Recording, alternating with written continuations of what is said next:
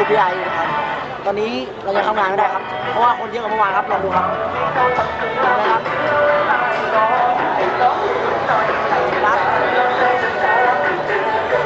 ทางเข้าอยู่นู่นอะ ต่อแถวมาถึงข้างหน้าประตูประตูที่หนึ่งเลย โอ้โห